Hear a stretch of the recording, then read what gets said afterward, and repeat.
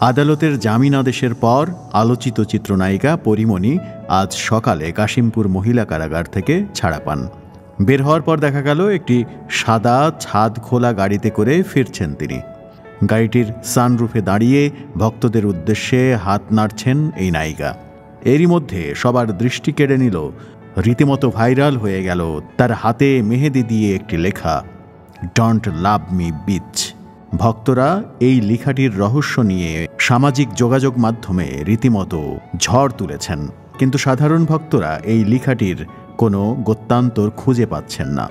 এই যখন অবস্থা, তখন বাংলাদেশ টেলিভিশনের সাবেক সফল প্রযোজক, নির্মাতা, লেখক ফরিদুর রহমান তার ফেসবুক ওয়ালে এই লেখাটি সম্পর্কে সুন্দর একটি তথ্য উপস্থাপন করেছেন।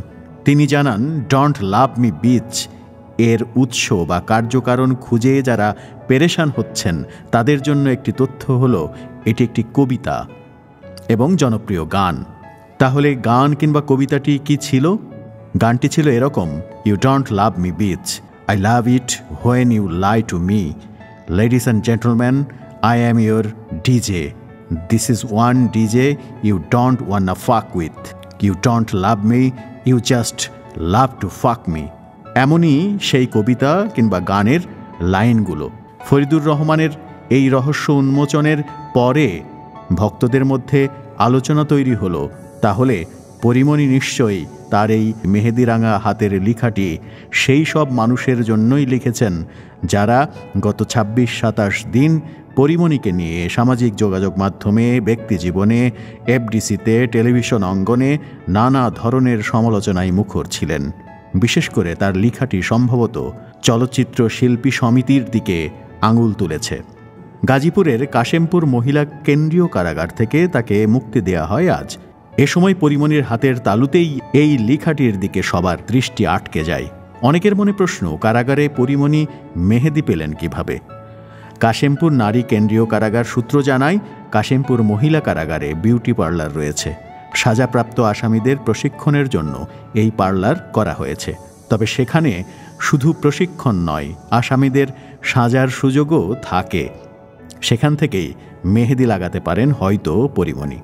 সাতাশ দিন পর কারাগারের বাইরে বেরোনো অভিনেত্রীর ওই লেখা এবং ছাদ খোলা গাড়িতে তার অভিব্যক্তি সামাজিক যোগাযোগ মাধ্যমে ভাইরাল হয়েছে ইতিমধ্যে। অনেকেই এসব ছবি শেয়ার করতে শুরু করেছেন এবং শব্দটি নিয়ে রীতিমতো ঝড় শুরু হয়েছে সামাজিক মাধ্যমে, যা একটু আগেই আমরা উল্লেখ করেছি।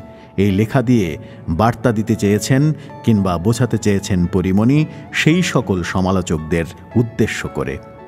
দুপুর একটার পর পরিমণি তার বাসার সামনে হাজির হন। এ সময় তার হাতে দেখা যায় বিস্কিটের প্যাকেট। বিস্কিট খেতে খেতে গাড়ি থেকে নেমে বাসার ভেতরে প্রবেশ করেন পরিমণি। এ সময়ে কিন্তু পরিমণি বেশ হাস্যোজ্জ্বল ছিলেন। ভক্ত অনুরাগীদের উদ্দেশ্যে হাতও নেড়েছেন। তবে গণমাধ্যম কর্মীদের এড়িয়ে বাড়িতে ঢুকে যান। এটাও বোধ হয় যে সকল গণমাধ্যম গত ছাব্বিশ সাতাশ দিন তার বিপক্ষে নানা ধরনের সংবাদ পরিবেশন করেছে, হয়তো তারই একটি মোক্ষম জবাব। দুপুরে বনানীর নিজ বাসায় ফেরার পর পরে গণমাধ্যমের সঙ্গে কথা বলেছেন পরিমণি। কারাগার থেকে বেরিয়ে নিজের হাতের ওই লেখাটি তিনি লিখেছেন বলে পরিমণি জানান। ডন্ট লাভ মি বিচ কথাটির অর্থ ব্যাখ্যা করতে গিয়ে পরিমণি বলেন ডেফিনেটলি এটা তো একটা বার্তাই ছিল। এত কথা বলতে পারছিলাম না ওখানে বসে, মনে হলো এভাবেই পৌঁছে দেয়া যাক সবাইকে। এখন এটা দেখে যার মনে হবে আমাকে বলছে মনে হয়, ওর জন্যই বলছি আমি। এই বীজ কারা? জানতে চাইলে পরিমণি বলেন, যারা বীজ, তাদের উদ্দেশ্য করেই এটা লেখা। যখন আমি অ্যারেস্ট হলাম, তখন একরকম অ্যাক্টিভিটিস আবার যখন জামিন পেলাম, তখন অন্যরকম অ্যাক্টিভিটিস ওরাই হলো বীজ। পরিমণি আরও বলেন, ওদের ভালোবাসার দরকার নেই। মুখে এক, মনে এক ওদের। যারা আমাকে ভালোবাসে, তারা আমার পাশে থাকলেই হবে। সোশ্যাল মিডিয়ায় পরিমণিকে নিয়ে সমালোচনার ঝড় উঠেছিল। এ বিষয়ে পরিমণি বলেন, যারা ব্যক্তিগতভাবে আমাকে চেনে না, তাদের গালি আমার গায়ে লাগবে না। রাস্তার কেউ আমাকে অপদস্থ করলে আমি অপদস্থ হয়ে যাব না। কিন্তু যারা আমাকে চিনেও গালি দিয়েছে, তাদের গালি গায়ে লেগেছে। গ্রেপ্তার হওয়া ও কারাগারে যেভাবে সময় কাটাতে হয়েছে, কয়েকদিন পর সবাইকে তার বিস্তারিত জানাবেন বলে জানিয়েছেন এই নায়িকা। এ বিষয়ে তিনি বলেন, এটা নিয়ে ডেফিনেটলি কথা বলব। আমাকে তো কথা বলতেই হবে। এটা আমার দায়বদ্ধতা। কিন্তু আমার কিছু সময় লাগবে। অনেক লম্বা কথা আছে। আমি বলতে চাই। সত্যি, সত্যিই বলতে চাই।